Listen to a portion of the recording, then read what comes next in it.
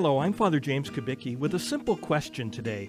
Do you think getting impatient with somebody is a sin? Now think carefully.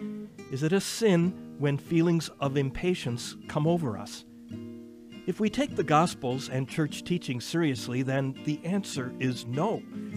I say that because of a long story that we find in Mark chapter 9, where Jesus shows that he clearly got impatient. When a man who had asked the apostles to heal his son was met with their failure in doing so, Jesus said, O faithless generation, how long will I be with you? How long will I endure you? Bring him to me. That sounds pretty impatient to me. And then, when the man explains what happens to his son and says, But if you can do anything, have compassion on us and help us, Jesus responds by repeating his words if you can. Everything is possible to one who has faith. That sounds like Jesus even getting a little sarcastic, repeating the man's very own words.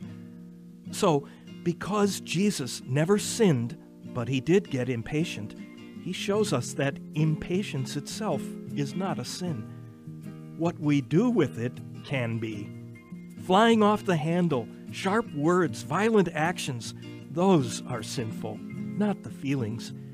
So next time you feel impatient, take the feeling and turn it into a prayer for the person or situation which is behind the impatience. See it as an opportunity to practice patience, because practice does make perfect, you know.